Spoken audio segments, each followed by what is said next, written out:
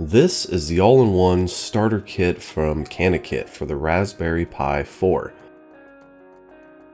In the box, it comes with all kinds of goodies to get up and running with your brand new Raspberry Pi 4.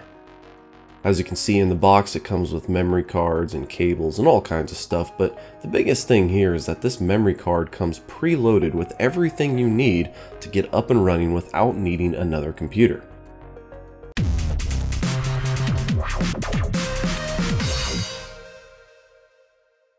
This is a HDMI to miniature HDMI cable, which is great because the new Raspberry Pi uses a miniature HDMI port. And here we have the power supply for the Raspberry Pi 4. Something to note here is that the new power supplies use a USB Type-C connection, so a regular old micro USB cable will not work. And in the case, it actually comes with a Raspberry 4 themed mouse. Just kind of cool, just looks like an old Dell mouse, but spray painted red and white. Some would say function over fashion, but I think this is a good combination of both. And then of course the toolless included case that comes with this kit is pretty cool and wraps around the Raspberry Pi really nicely. You'll see in a minute. Doesn't need any screws or anything, just pops right off by squeezing the sides and opening up the case. But it comes preloaded with all the ports that you'll need for the Raspberry Pi 4.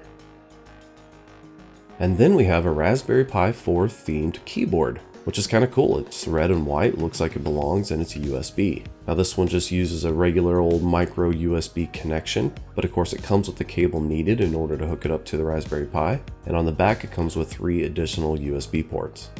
I kind of like it, it's small and functional. Included with the kit, it even comes with a micro SD card reader. Now this is for SDHC, don't know if it works with any others, but it is only USB 2.0, so it's not going to be terribly fast. But for loading something like a Raspberry operating system, if you need to, it should do the job. Also included in the kit are three heat sinks used for various chips on the Raspberry Pi 4. Keep in mind that this kit does not have active cooling, which is something that my aftermarket kit that I purchased for the Raspberry Pi 3 had, which was pretty nice. And then finally, the Raspberry Pi 4 computer itself. Should note here that apparently there's a special way to open this box, but since I just kind of dig right into everything, I did not realize that, even though right here on the side it says open here. So, you know, read before you rip. This is pretty cool, two USB 2.0, two USB 3.0, two micro HDMI ports, a USB Type-C connection, an Ethernet port, and of course a slot on the bottom to put in your SD card. Pretty much giving you all the basics that you would come to expect from a Raspberry Pi.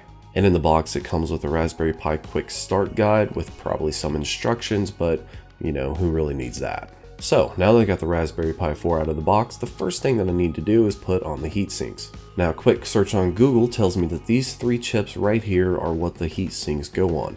So it's just a matter of removing the stickiness part of this and sticking them right on the top here. And of course pressing down firmly to make sure they don't fall off.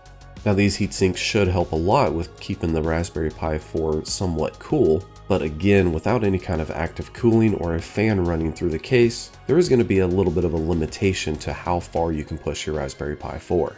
If you push it past 80 degrees, you'll get a warning, and up to 85 degrees, you'll actually start thermal throttling. So depending on your usage, you may want to consider a different case.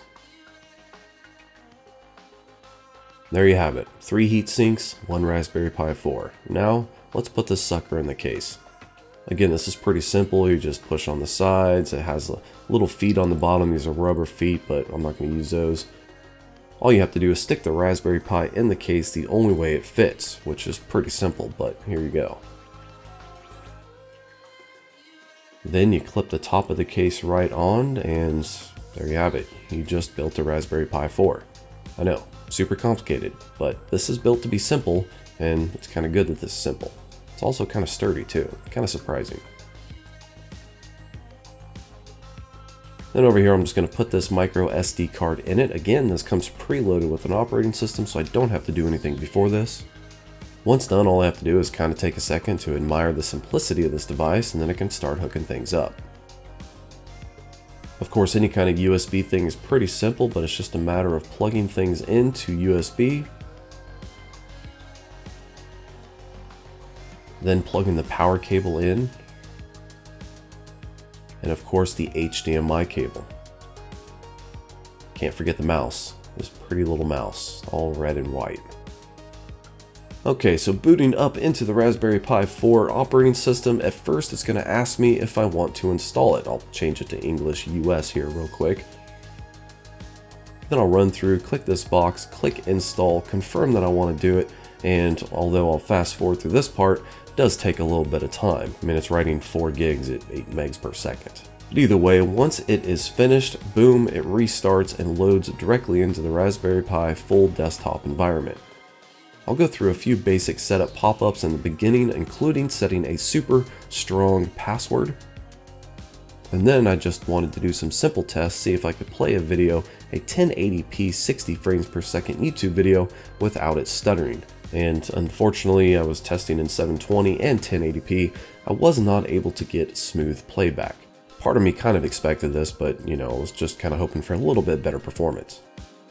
Not saying that this is a negative review or anything like that, I just wanted to test to see how it ran. And to make sure that I was getting enough speed, I went ahead and ran a quick speed test as well, gotten up to 300 megabits per second. So after the initial build and test is done, the only thing I had left to do in this video was to run a simple game to see how well it ran. It comes with Minecraft Pi Edition, which is kind of cool. It's a free edition, kind of limited, but still kind of cool. So I loaded up a Minecraft world and built a simple rocket ship just to display that the Raspberry Pi can and will build a rocket ship in Minecraft Pi. Well, that's it for today, guys. Thank you for watching. If you have any ideas of what you want me to do with this, leave them in the comments down below. Of course, always like and subscribe and have yourself a great day.